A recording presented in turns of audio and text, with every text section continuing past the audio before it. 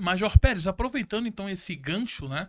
É, a gente descobriu, na verdade, pesquisando também, estudando um pouco como funciona a ROCAM, que cada policial militar tem uma posição, ele tem uma função ali, né? Só pode explicar o que é a função. O primeiro, tem uma moto que vai na frente, uma que vai do lado. Explicar um pouco essa disposição aí para o pessoal que está assistindo. Então, vamos lá. É, o patrulhamento de ROCAM, ele se faz no triângulo invertido. São duas motos na frente e uma mais a retaguarda centralizada. Então, formando um triângulo. Se você olhar de cima, você tem um triângulo numa posição invertida, onde o ápice do triângulo está para trás.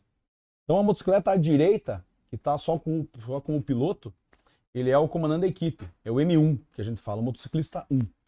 Né? À sua esquerda está a motocicleta do M2 e M3. O M2 é o piloto do garupa. E o M3 é o garupa da equipe. E atrás dessas duas motos, centralizado, né? Mais a retaguarda, para fechar esse triângulo, nós temos o M4. O M1 é o comandante da equipe, é o mais antigo, é o cara responsável por conduzir o patrulhamento, para dar o itinerário do patrulhamento, os locais que vai ser feito os pontos base, né? alinhar é, a situação de, de ordem de serviço, ó, tem que estar aqui tal hora, fazer tal hora. É o comandante daquela, daquela, daquela equipe tática. O M2 é o piloto do garupa. Né? A função desse cara é muito importante. Há de, de se dizer que o M2 ele é o melhor piloto dos três ali. Ele está levando mais uma vida. Além da dele, ele tem mais uma vida. O M3 é o garupa. Ou o garupa atirador, como a gente fala em algumas, algumas evoluções ali. Esse, esse camarada, ele é o, a gente fala que está com as mãos livres ele está portando, né? Portando não, ele está conduzindo a arma portátil. Todos estão portando uma pistola e esse garupa está conduzindo a arma portátil. Seja uma submetralhadora, seja um fuzil, seja uma gauge 12. Né? A depender de cada missão, ele vai estar com armamento diferenciado. Além de portar esse armamento, esse camarada é o navegador da equipe. Então, para se direcionar a equipe, ó, estão patrulhando no centro da cidade, né? Deu uma ocorrência em que uma guarnição de rádio patrulha pediu apoio, né, no, no Parolim. Ela tem que chegar rápido. Né? Então, a motocicleta do M2 e M3 já vai mais à frente, a gente alinha em coluna por um e vai fazendo aquela tripinha ali e vai embora. O, M, o M3 ali, ele tá com o celular na mão, né, com um aplicativo de mapa e tal, e batendo direita, esquerda, para os outros irem. Por que, que o M2 vai à frente? Porque justamente eu tenho arma portátil à frente, uma abordagem, uma chegada mais, mais enérgica, e também porque é a moto que vai estar com duas pessoas. Então, em tese, é uma moto que vai estar com mais peso né? vai ter que levar, às vezes, mais tempo para frear, mais tempo para menos tempo para acelerar e assim por diante. O M4 geralmente é o mais novo da equipe.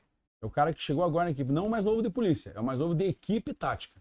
Né? Ele pode ser um cabo, um sargento que está terminando o estágio, ou recém terminou o estágio, mas ele vai ficar um pouco de M4 para ele pegar justamente e, e, treinar isso daí todo dia. Né? Ele é o M4 na abordagem ele é responsável por fazer a busca pessoal, é, é, recolher documentação, fazer checagem com o cupom, né, repassar o M1, alguma situação, mandado de prisão vigente, porque e uma das características do patrulhamento tático é justamente a descrição. Então abordei o cidadão lá, pediu os documentos com educação, o M4 fez a busca, o M3, como ele está com a arma portátil, ele fica na segurança, fazendo o 360 da equipe ali, né, o M1 está ali na entrevista, né, o M2 Tá preocupado também com a periférica, olhando o terreno, tudo. E daí o M4 chega ali, ó, oh, comandante, o, esse esse tem um mandado de prisão em aberto tal. Ele não vai gritar, esbravejar, né? Já vamos pedir o apoio, já vamos fazer o algemamento. Então a equipe funciona mais ou menos dessa forma. E aqui com a gente hoje, aqui eu tenho dois, dois caras aí que eu sempre coloco de M2 nas minhas equipes. Inclusive, quando eu saio de M3, às vezes eu saio de M3 também, nós temos na grupo desses caras aí. Às vezes passa uns medinhos e tal, mas né, a gente tá aí pra isso. Né? Faz parte. É... Quer complementar? Posso fazer um adendo? Claro. É, dentro do triângulo invertido que o Major falou, cada policial tem um campo de responsabilidade.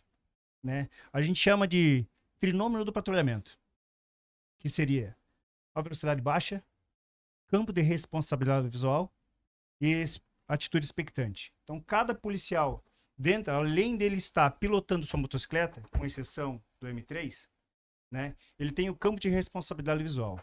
Né? O M1, comandante da equipe, ele vai sempre ter o cuidado frontal e o flanco ter o direito.